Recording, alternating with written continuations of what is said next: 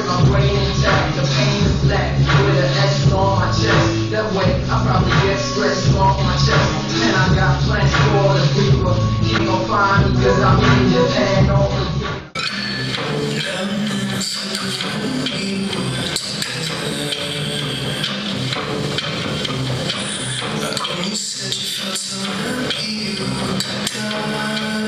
Way they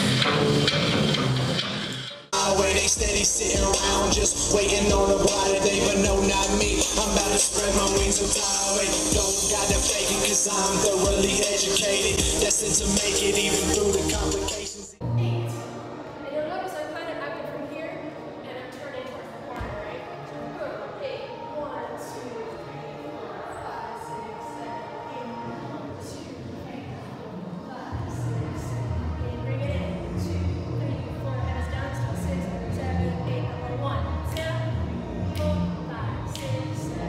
Dancing is awesome. It was a major and, and still is a major part of my life. I was a dancer starting when I was about four and a half years old. My first little ballet class my mom put me in. And from ballet to tap to jazz to hip hop to swing to Lindy hop to character, um, rhythmic gymnastics, like all that kind of stuff I did for years of my life. I auditioned and made the Super Bowl in Super Bowl 37. I danced in the pregame show during the national anthem and the halftime show.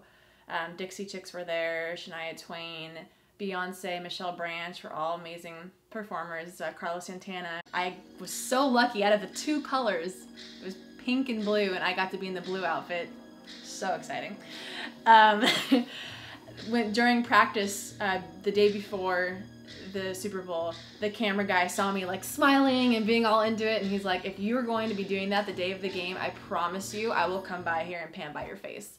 And he did. So I was on international television for a split second. My friend actually saw me out in some random bar in Ireland. I've been a choreographer since my freshman year of college. I taught at colleges, I've taught at gyms. Living in Nashville now, I I started teaching um, private lessons. I teach at my gym down the street from me, and this is it's really exciting to kind of get back into it because back in San Diego, I was really full time music or my sales job. I had a day job as a sales manager, and um, anytime I wasn't at work, I was working on music, and maybe even at work sometimes I might have been doing some marketing or self promotion.